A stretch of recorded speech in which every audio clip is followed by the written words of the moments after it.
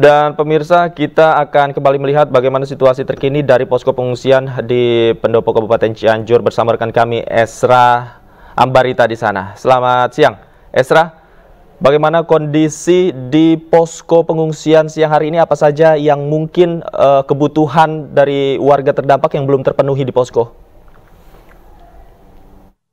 Ya, selamat siang Davi dan juga pemirsa untuk situasi terkini di salah satu pengungsian terbesar pasca terjadinya gempa di Cianjur, Jawa Barat. Ini ada di tempat saya mengabarkan yakni di lapangan Joglo, di mana situasi terkini memang sedang uh, hujan dan membuat masyarakat ini berdiam ataupun melakukan aktivitas di dalam posko maupun di, di posko pengungsian. Dan ada juga beberapa yang memang berada di tempat ini, di tempat saya mengabarkan. Dan saya akan mengajak Anda untuk berbincang dengan salah satu narasumber ataupun warga terdampak yang merasakan bagaimana gempar uh, dari guncangan gempa ketika pertama kali terjadi.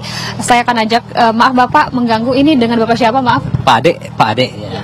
Pak Ade, boleh dijelaskan kepada pemirsa dan kita semua sebenarnya pas pertama kali Pak D ini melihat guncangan atau merasakan tepatnya ini seperti yang boleh diceritakan Pak D? Ya, ketika itu waktu saya tertidur ya, habis jam satu lebih ya, jam satu lebih saya tertidur, tiba tiba-tiba ada guncangan mendadak ya, uh, dengan hitungan detik semua bangunan porak-poranda dan saya tertimpa dan saya itu korban ya uh, tertimpa ya untuk alhamdulillah atas izin Allah saya bisa bangkit kembali gitu bisa selamat alhamdulillah ya.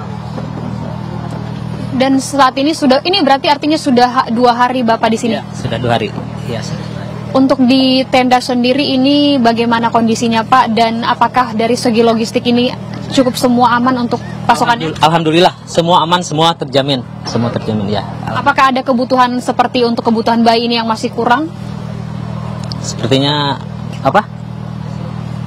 Sepertinya ya adalah sedikit lah, ya ada sedikit ya. Di sini kan ada dari pelayanan TNI, gimana Pak terkait pelayanannya di sini? Pelayanannya bagus, bagus, bagus, sangat bagus sekali pelayanannya. Untuk kebutuhan seperti air ke dan kebutuhan pakaian, apakah tercukupi Pak? Uh, kalau pakaian belum ya, belum ya. Nah, saya juga mesti pakai satu-satunya ini yang saya pakai ya.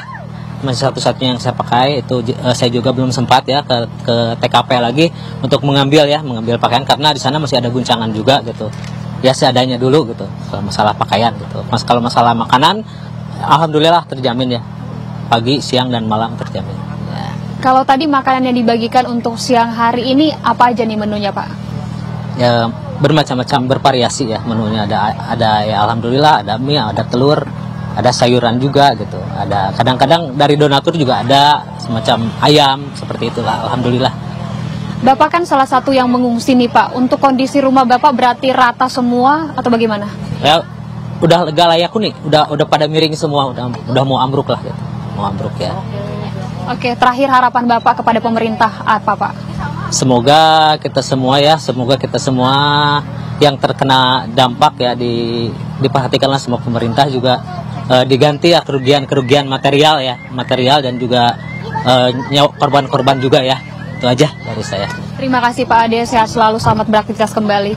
Pemirsa demikian tadi perbincangan saya dengan salah satu korban terdampak disebutkan bahwa rumahnya memang sudah tidak layak huni lagi. Kendati demikian kami juga tadi sempat berbincang untuk pasokan logistik dari segi makanan ini memang tercukupi karena dari pihak TNI terus membantu untuk menyuplai makanan. Hanya saja memang untuk kebutuhan air ini masih dalam proses uh, perampungan karena memang masih ditugaskan atau dikerahkan sejumlah personil TNI untuk memastikan bahwa kebutuhan air ini terpenuhi di sejumlah posko maupun di tenda-tenda. Begitu juga dengan kebutuhan pangan untuk bayi, pampers dan lain sebagainya. Ini masih dinantikan masyarakat mengingat memang tadi kami sempat menanyakan ini yang paling krusial atau paling dibutuhkan seperti bahan dari baju juga maksud kami ini paling dibutuhkan karena dalam sehari mereka masih memakai baju yang sama dan ini artinya masyarakat berharap agar pemerintah turun tangan dalam pemenuhan tidak hanya logistik tapi kebutuhan sekunder lainnya. Kembali ke Anda, Davi.